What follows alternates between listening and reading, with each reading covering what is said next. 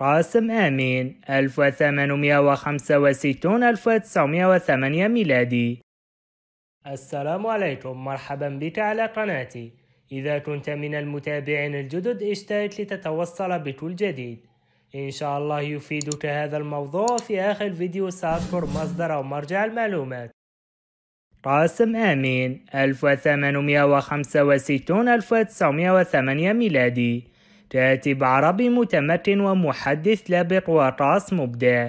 ولد من أسكورد ببلدة طرى من ضواحي القاهرة. ونشأ بالإسكندرية وتعلم في مدارسها.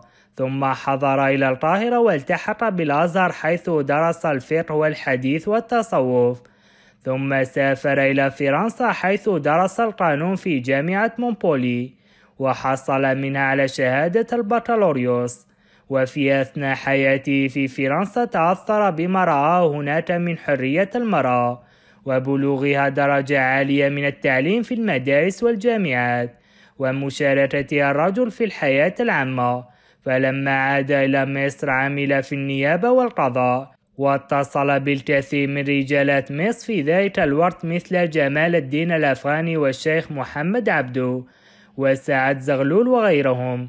وتتلمذ بعض الوقت على جمال الدين ومحمد عبدو واطلع بالدفاع عن قضية المرأة العربية فدعا في كتابه الأول تحرير المرأة 1899 ميلادي إلى صفورها ونيلها حظها من التعليم ومشاركتها الرجل في الحياة العامة.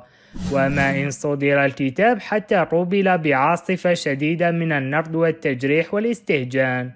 وعارضه الكثير من رجال الفكر المحافظين الذين يتمسكون بالتقاليد الموروثة والذين يرون في دعوته معول الهدم يطوض أركان البيت المصري فإن برق سمامين للرد عليهم في كتابه الثاني المرأة الجديدة سنة 1906 ميلادي فأثارت آراءه التقدمية جدلا عنيفا. ظهر على صفحات الجرائد والمجلات في صورة مقالات ومسجلات ومناقشات.